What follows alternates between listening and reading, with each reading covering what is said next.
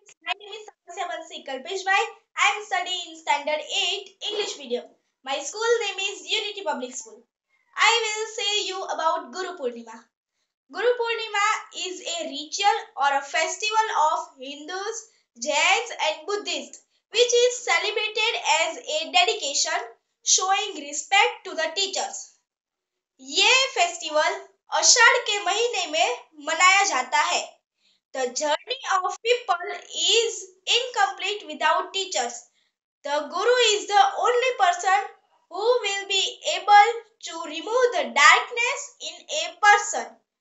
गुरु समान दाता नहीं याचक शीश समान तीन लोग की संपदा सौ गुरु दिन ही दान इसका मतलब गुरु के समान कोई दाता नहीं और शिष्य के सदस्य याचक नहीं।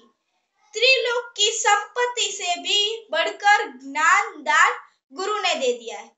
So please use good manners with your teachers and follow the classrooms rules